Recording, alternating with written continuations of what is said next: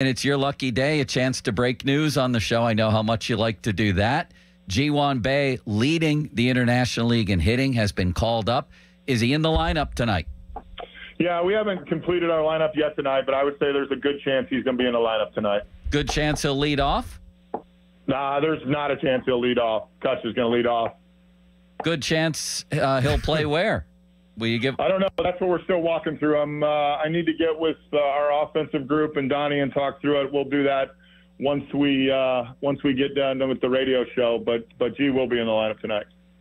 Well, then uh, the, the, the the flip side of that question is, uh, how did you do come to the conclusion that uh, Ryder was the guy that was going to go down? Well, I think the biggest thing is we were coming off the off day, and our pitching's in pretty good shape.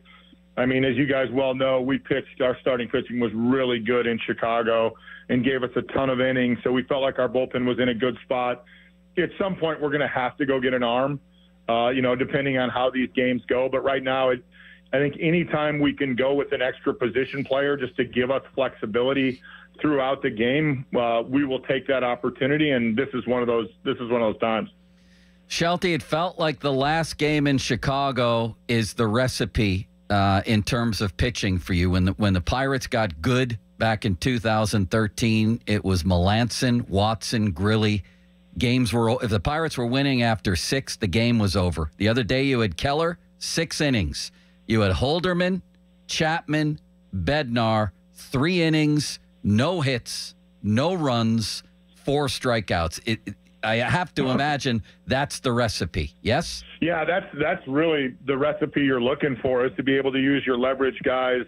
Uh, you know, and I think the biggest part of that was what Mitch was able to to get out of him the sixth in uh, the maturation of Mitch Keller. I mean, he goes second and third, nobody out in a three-one game, and we come out of that inning three-two, and that's really important. I mean, we get a sacrifice fly, then he's able to get the next two guys out.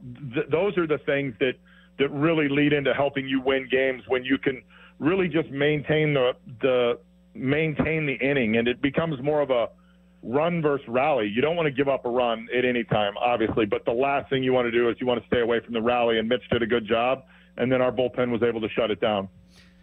Are you satisfied that Bednar is back 100% to the guy we've seen in recent years? I think we're seeing him get close to it. You know, I mean, he was so good for two years with the execution of everything.